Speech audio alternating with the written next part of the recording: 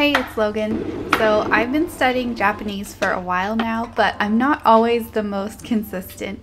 I passed the N3 level JLPT a year ago, and I haven't been studying as much as I used to, but I am trying to incorporate it into my routine in small ways. So, here are some ideas of how to incorporate studying Japanese into your daily routine. If you're like me and have a bad habit of looking at your phone in the morning, I've found a way to make it productive by using an app for reading articles in Japanese. I've been using this one called Todai Japanese, and I like it because it has a built in dictionary, so it makes it easy to learn new words and kanji.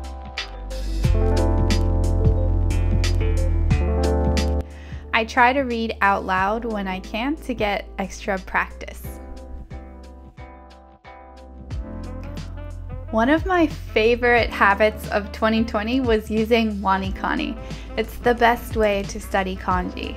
It works best if you use it every day. You might be able to tell that I haven't used it in a while because I have a lot of reviews to do. But I'm never giving up. It is paid, but it's so worth it.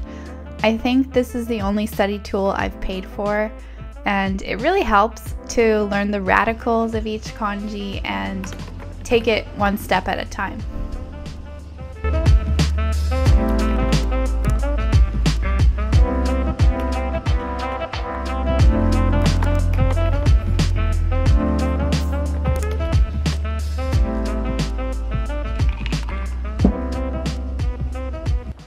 Konnichiwa. Genki desu ka? I think the best thing or my favorite thing that I did to learn Japanese and to really find improvements when I was in the earlier stages of studying was getting a language partner. So when I was first getting started with studying Japanese, I only studied it in a classroom setting and I mostly learned like grammar, vocabulary, and a little bit of writing. But it was hard for me to speak and I think getting a language partner was one of the best ways to help me get started with at least like trying to speak and getting a little bit of practice with speaking. I used um, the app italki and HelloTalk. Both of those are good places to meet language partners. So you can look for someone who wants to learn your native language and who is a native speaker of the language you want to learn. And then what I do is we meet on Skype once a week and we do like 30 minutes in Japanese and 30 minutes in English so we get we both get to practice and learn.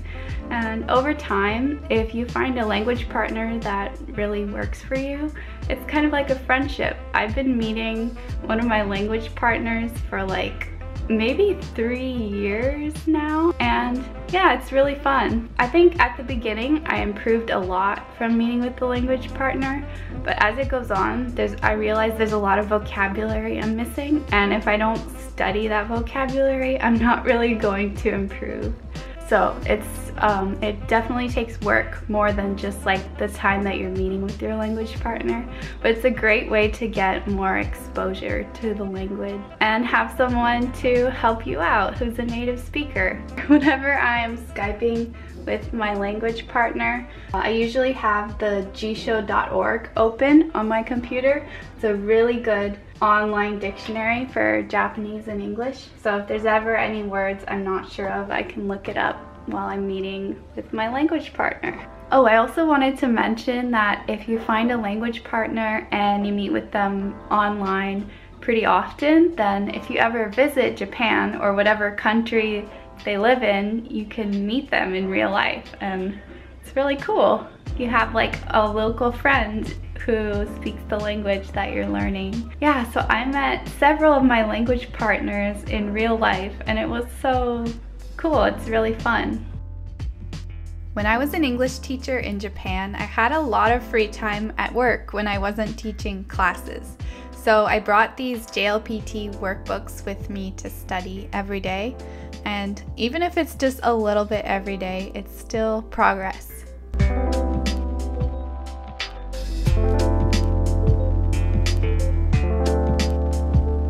Been a long time since I practiced for the JLPT. Even when I took the JLPT, I don't think I was that prepared for it. Even though I did pass, I still want to go through these workbooks again and keep doing it because I have a lot to learn. Using recipes in Japanese.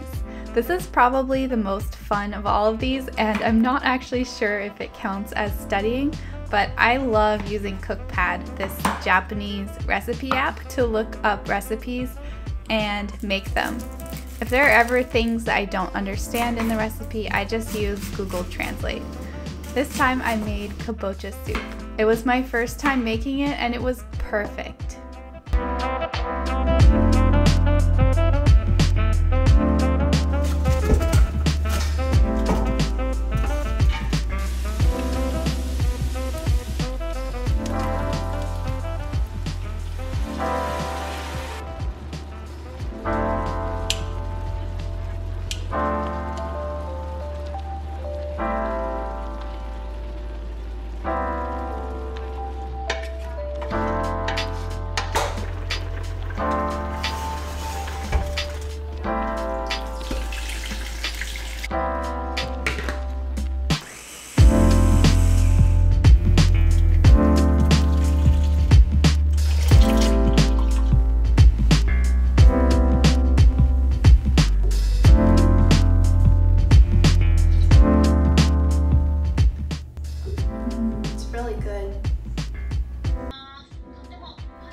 So this is a fun way to try and practice listening.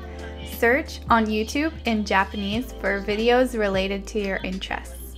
I watched this grocery haul video.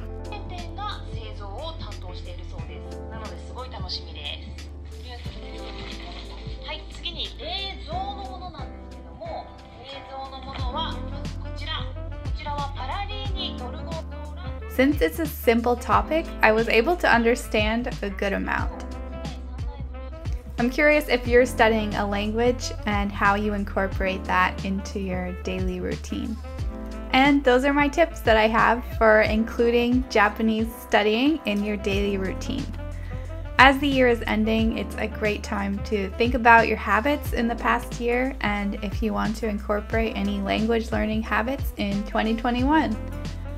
Thanks for watching. Remember to give this video a thumbs up if you liked it and subscribe for more videos like this. See you next time.